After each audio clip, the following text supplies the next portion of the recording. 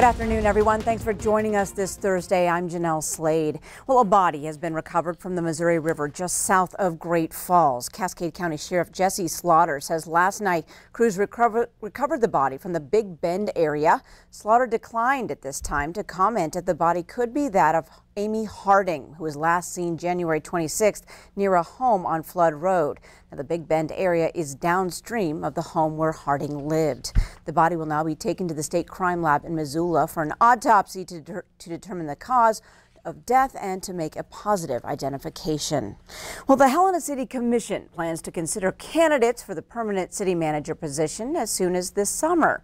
The commission held a special meeting over video conference yesterday with a representative from the Novak Consulting Group. Now, the consultants plan to release a community survey next week to get input on what the public wants to see in a manager. They expect to post a job in May, have the commission consider candidates in June, and hold final interviews by July. We definitely want as much information and as much feedback to make a good, informed, educated decision. So certainly that's something we can incorporate into the process. Former city manager Ana Cortez left her position in February. Melinda Reed is serving as Helena's interim city manager. Well, two residents on Helena's Beattie Street have filed legal action to seek a block on construction of a trailhead expansion adjacent to their property. The residents are seeking a temporary restraining order to block the project after city crews started work on Monday. The plaintiffs say they made a land exchange with the city based on the city not developing the area adjacent to their home and that the new work goes against that agreement. They say further construction will do irreparable harm to their property. A city spokesperson tells MTN the city plans to oppose the motion but will not comment further on the case. Now, the Beattie Street project has drawn opposition from several nearby residents who have raised concerns about how it will impact their neighborhood. Well, it's now time to check in on the weather scene with Rob Griggs, who's here to bring us some good news about the next two days before we head into that Easter uh -huh, yeah. weekend. And the operative, Janelle, is the next two days, two okay? Days. Yeah, it's it's not good news after that, especially if you're liking this outdoor uh, you know, keeping your social distance from folks, that's going to come to an abrupt end Friday night. But let's not worry about that right now. Across the western U.S., gorgeous weather today. You notice that splotch of red there over Nebraska. That's red flag fire warning. Also down into the southeast over South Carolina, red flag fire warnings and high wind advisories. Uh, the severe weather yesterday was in Arkansas. Today looks like there's a shot of that in southeast Texas where those thunderstorms could rumble through. 52 right now in Butte with sunshine and a light northwest wind. Look at this. More sunshine in eastern Montana. Billings 41 with some high, thin, wispy clouds and nary a breath of wind. Also, very light winds, 50 degrees, and sunshine in Helena. This is sort of a sign of things to come. We'll talk about the nice weather followed by the winter storm in just a little bit. Janelle? All right, thanks so much, Rob. Now, before the pandemic, Montana State University in Bozeman housed about 3,000 students. Well, that number today is down to less than 300. MTN's Annie Johnson brings us an update from Bozeman. Montana State University students have had to make major adjustments to their school year, including for some students, their housing, the place they've called home for the last couple of months. Right now we have fewer than 300 students living on campus and the residence halls are open only to those folks. In other words, no guests, no outside visitors, just the people who are supposed to be in their rooms. And for the other students, MSU encouraged them to stay home if they could. We've encouraged our students in multiple communications to stay home, to take their courses online, and many of them are, and to uh, to find a living arrangement that's less dense. And at this time, those students who left campus are discouraged from returning. We appreciate their understanding, but we hope that they can understand that the decisions to not allow them in to get their stuff right now are made out of a concern for health and safety of everyone. Students say they've noticed a difference. Yeah, it's a lot quieter, and it's kind of weird too, because um, like before like spring break, um, everybody was like, "Oh yeah, I'll be coming back" and everything, and then like nobody came back. Before the pandemic, campus was definitely a very inspiring place to be. You felt great about coming to school, and now it's it's completely vacant, and it almost doesn't really feel like a college or a campus. According to Becker, there isn't a specific date when housing will return to normal, but he advises people to pay attention to the current stay at home orders in place. If they need things urgently, if they need medicines, if they need academic supplies, there is a form that they can fill out on the Residence Life website to help them get those items. Reporting at Montana State University, Annie Johnson, MTN News. Thanks so much, Annie. Well, the number of confirmed positive coronavirus tests here in Montana jumped another 22. That number now at 354 this Thursday, up from 332 yesterday. The death count remains at six. Gallatin County again seeing the biggest jump has eight new confirmed cases, bringing its total to 128. Yellowstone County adds another four, that number now 52. Stillwater County reports its first case, a man in his 50s, and the state says 157 people have recovered from the disease so far. Well, U.S. researchers have begun testing another method for a COVID-19 vaccine. They're administering a skin deep shot instead of the usual deeper jab. The vaccine uses a synthetic DNA, which is newer technology in the medical field. It works by mimicking the generic code of the virus so the body can build immunity against it, but is actually harmless. A separate study suggests that a skin deep shot of a synthetic DNA sped up the, the immune response. Well, a new food menu has made its way to Great Falls. It's bringing another cuisine to people under the stress of quarantine. Spices and Spurs owner Cassie Campbell is serving up a whole new level of comfort food. The food truck rolled into town yesterday and aims to fill a new niche created by coronavirus chaos. Campbell works full time at a restaurant during her slower months, but due to COVID 19, decided to open early this year. And Thrive, a local nonprofit organization in Bozeman, made sure 2,000 spuds were given away to good homes. Yesterday, members with Thrive met outside their building in downtown Bozeman. They gave away potatoes to people who had lost their jobs and families had been laid off. Ashley Mayers Jones with Thrive started the movement after a neighbor offered to give her a whole bunch of potatoes that needed homes. The giveaway was yesterday only, but organizers say they look forward to doing it more in their community. Well, the stay at home directive in many cases is still bringing out some of the best in people. That includes Bozeman musicians who want to help bring smiles during this difficult time. One of those musicians, Dane Thompson. Take a listen.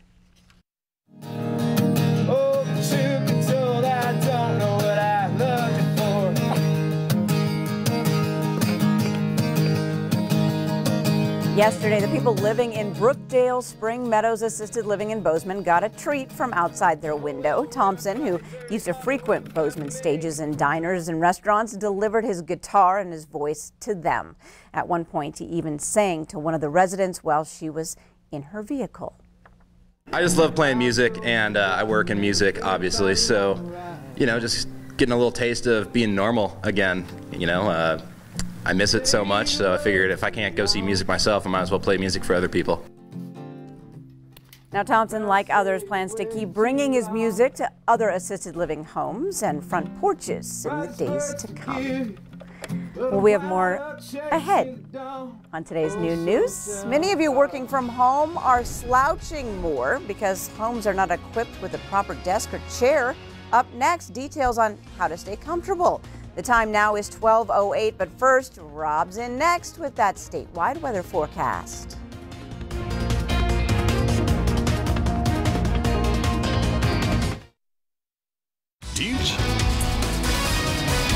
Okay, let me just ask you right now, are you going a little nuts? Do you know what day it is? okay, it's Thursday. It's April 9th.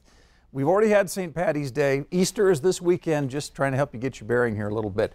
Getting outside and doing a little social distancing in the sunshine is going to be really good for this thing here. And uh, you got a great day to do it. Right now, the sun is shining, the skies are clearing up. It's just, well, kind of pretty. A little cool up here in northeastern Montana where the influence of that low pressure system to the east still brings in some of those north winds. That's keeping things kind of cool, but you'd never know that that was even in the neighborhood when you look at the rest of these 40s and 50s. And yeah, quite a bit of swath of warmer temperatures right now than this time yesterday. You can see up here in northeastern Montana, still a little bit cooler. And even Sheridan, Wyoming, Cody, and Worland, Wyoming, all picking up a little bit of heat today.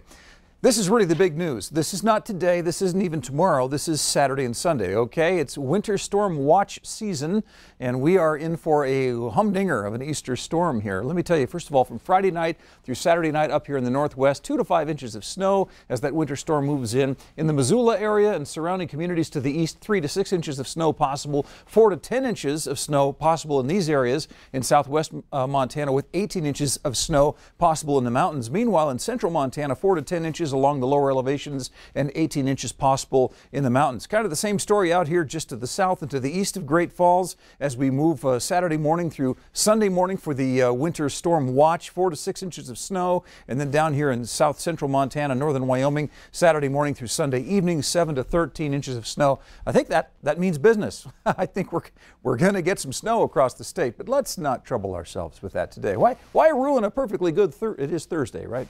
It is, it's Thursday. I double checked on it. It's still Thursday. All right, good enough. We got high pressure all the way across the Pacific Northwest. It's warming up. It's going to continue to warm up as we see high pressure build in. The sun is shining from the border of Idaho all the way to the border of the Dakotas.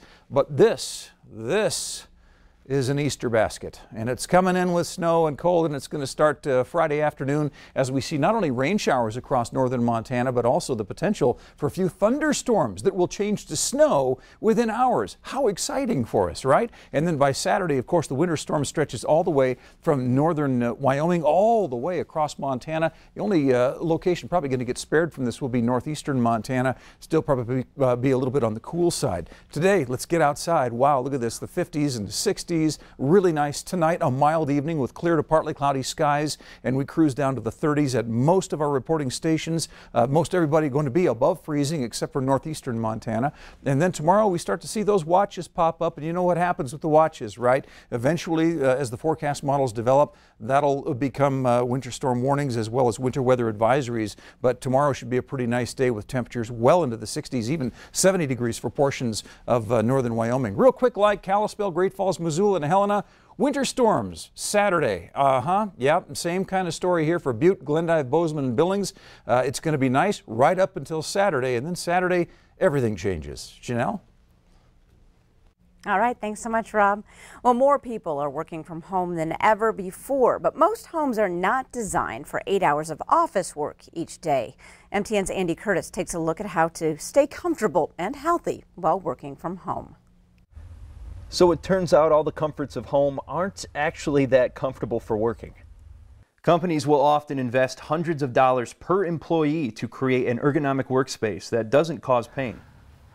And if you're not careful, bad work posture can lead to personal health consequences. It's going to be one of those things that it's going to creep up to you and it's going to come on and by the time you feel it you've already done some some damage right to your to your posture to your to your neck muscles right the, the old cliche of an ounce of prevention is worth a pound of cure could not be more true i mean with occupational injury First, you're going to want to find an area with as much natural light as possible, but not glaring. Dimly lit rooms like this one can contribute to eye strain and headaches. Set aside a work area where you can have your feet flat on the floor, your hips, knees, and elbows at 90 degrees, and use pillows for seat and lumbar support. Raise your monitor or laptop so the top of the screen is level or just below your eye line, and take breaks. keep a normal routine, which means do take your 15 minute break in the morning, do take your lunch hour away from your work area, um, just so that once again you're moving around and not in one static position for any extended period of time. Spending all day inside can also lead to vitamin D deficiency, which has been linked to depression and loss of bone density. Whenever you do get a chance, take a walk outside. While still being mindful of social distancing, of course. Reporting in Helena, MTN News team of Andy Curtis and John Riley. You guys are awesome. Thanks so much. And everyone else, get outside today and tomorrow. Up next, your latest ag news with Russell Nemetz. We'll be right back. Hi. Montana Ag Network.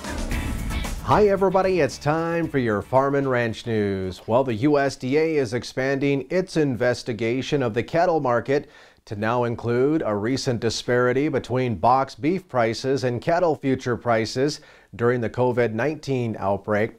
Agriculture Secretary Sonny Perdue made the announcement Wednesday via Twitter. Of course, a few weeks ago, box beef prices spiked $45 during a four day span, and at the same time, cash cattle trade was sparse and traded sideways while the board traded limit lower four out of the five trading days of that week. USDA has been investigating price movements following an August 2019 fire at the Tyson Foods packing plant in Holcomb, Kansas. That caused cattle prices then to fall and box beef prices to climb. Now, organizations like the NCBA and U.S. Cattlemen's Association welcomed Secretary Perdue's announcement this week because cattlemen and women fear this type of trend could have devastating long-term impacts on cattle producers across the nation. Well, stay with us. We'll have more ag news right after this. Well, the American Sheep Industry Association has called upon the USDA to provide some relief to America's sheep and wool producers in a letter to Agriculture Secretary Sonny Perdue. ASI President Benny Cox wrote that unfortunately the economic impact to sheep producers has been severely blunted due to unforeseen circumstances beyond their ability to prepare. Now, current estimates show a projected direct farm level loss of $125 million due to significant declines in feeder and slaughter lamb prices as a result of the loss in consumer demand for American lamb. ASI says the total economic impact to the entire American lamb industry might actually be in excess of $300 million. In some other news, according to USDA's first weekly crop progress report of the year, U.S. winter wheat is starting off the 2020 growing season with a good to excellent condition rating slightly above last year. For the week ending April 5th, winter wheat was rated 62% in good to excellent condition, up slightly from 60% at this same time a year ago. Now, 9% of the crop was still rated poor to very poor, the same as last year. Meanwhile, here in Montana, though, 52% of the winter wheat crop is in good to excellent condition. Well, down in Wyoming, 74% of their winter wheat is in good to excellent condition. And finally, today it looks like the American agri women continue to stress that America consists of farmers and ranchers from all over the country, and most are still in some very rural areas. And that's why it remains concerned that even though 5G implementation sees forthcoming to rural America where 3G and 4G services are now, there are still farmers and ranchers unable to get any coverage. The American Agri-Women is asking FCC Chairman Pai to move forward, making 5G connectivity and coverage available for all of rural America. Now, the organization says the lack of 5G broadband to farmers and ranchers puts our nation in a very vulnerable position as they continue to work hard to provide all of us a safe, abundant, and affordable food supply. Well, that's a look at your farm and ranch news. Have a great day. All right, thanks so much, Russell. Now, Laurel High School administrators got creative, highlighting two students that earned top marks among the class of 2020. Police lights, a line of about 30 honking cars, celebrated valedictorian Abby Scott and salutatorian Trinity Powell. Both girls knew they were near the top of their class, but said the parade was a complete surprise. I was kind of um, scared at first. I heard a, the siren of Officer Anglin, so I like ran down. I was like, oh no, what's happening? Definitely way better than an email. I just knew that my mom told me to get dressed and we were gonna go sit on the porch for a little while, and I was definitely not expecting that. I think that that was really amazing, and I don't know what they've done in previous years, but that was that was really awesome. They made a really big deal out of it. And both girls are planning to attend college. Fun. Fun. Yeah. That's awesome. Mm -hmm. People really, parts of people coming out right now are awesome. Oh, yeah. yeah. Easter's not going to be any fun. Well, no. Easter weekend, we got snow coming for Kalispell, Great Falls, Missoula, and Helena, and Butte, and Glendive, and Bozeman, and Billings. Enjoy the weather that we have today and tomorrow. It'll be nice.